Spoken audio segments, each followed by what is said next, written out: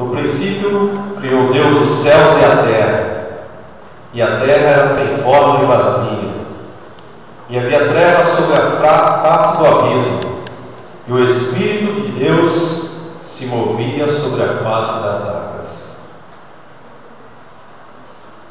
E criou Deus o homem à sua imagem, e a imagem de Deus criou.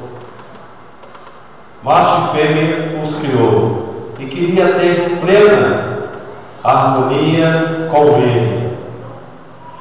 Até que entrou o pecado e separou o homem de Deus. Mas hoje Ele quer que através de Cristo você entre novamente na presença dele.